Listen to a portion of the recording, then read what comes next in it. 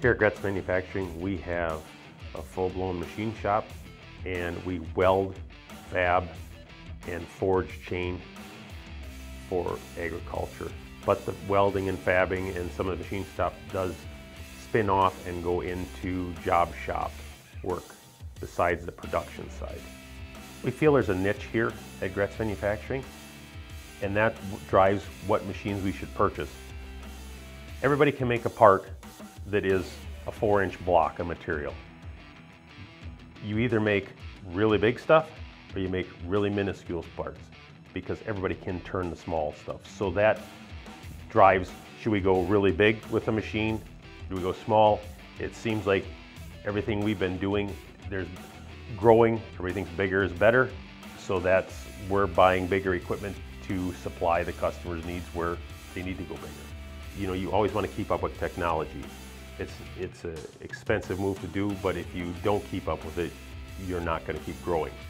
So it's just a matter of getting the technology in our hands, getting it going, getting the people trained for it that you have, but then also trying to attract new employees and retain the ones you have so they can train the new ones to the culture that we want and what we're growing here.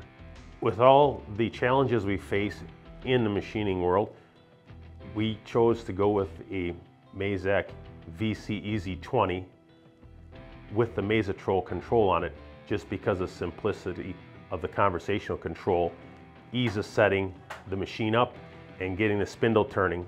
As long as the spindle's turning, we're making chips.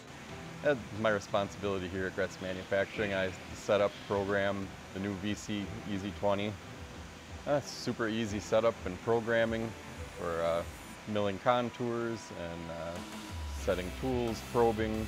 Every, everything is simple and easy to teach uh, people that are new. The smooth, easy control is, um, has everything else that the past controls had, the Matrix Nexus, and uh, I was concerned at first maybe it wouldn't have as many bells and whistles, but it can do everything plus you know, new stuff that the other ones couldn't do. Yeah, programming uh, G-code compared to Mazatrol is like machining with one arm tied behind your back. We typically do 90% of our job shop work on that machine, unless it is a large part that doesn't fit in the, the, the work holding butt space of the machine.